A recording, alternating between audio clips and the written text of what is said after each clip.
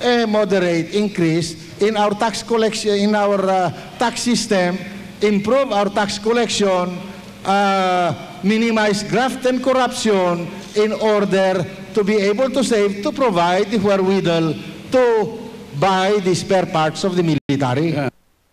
Titles and positions do not mean that much to me anymore. What is really important is to be of genuine service to our people with or without any position in government.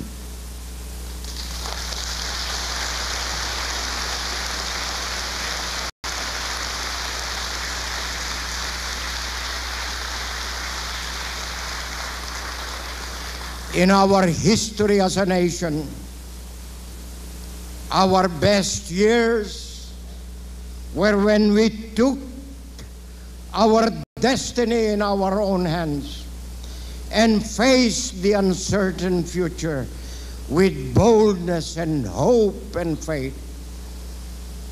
Those were the times when Filipinos experienced a sense of national renewal and self respect.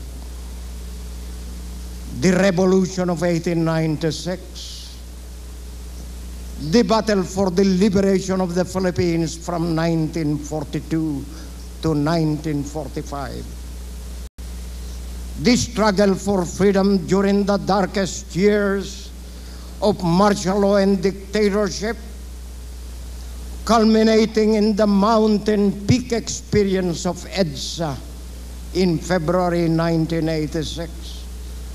How can we ever, ever forget these high moments in the life of this nation? September 16, 1991 may well be the day when we in this Senate found the soul, the true spirit of this nation, because we mustered the courage and the will to declare the end of foreign military presence in the Philippines and help pave the way to lasting peace here and in the world. Blessed are the peacemakers, our Lord said in his deathless sermon on the mount.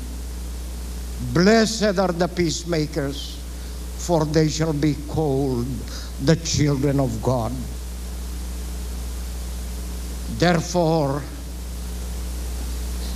I vote no to this treaty, and if it were only possible, I would vote 203 million times no.